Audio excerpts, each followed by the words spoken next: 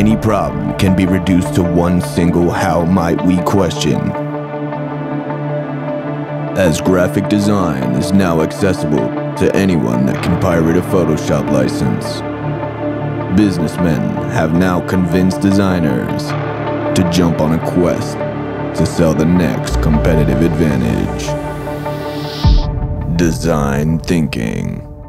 A word so caught up in its own meaning, nobody has a clue what it stands for. Thanks to the extensive research of these two dudes, designers can now achieve innovation. Unleash your creative confidence by using design thinking as a tool, a framework, a mindset, uh, a process? Embrace the beginner's mindset. Forget all your previous experience, but don't worry. Design thinkers will tell you how you should really solve your problems and talk to you in words literally no beginner can understand.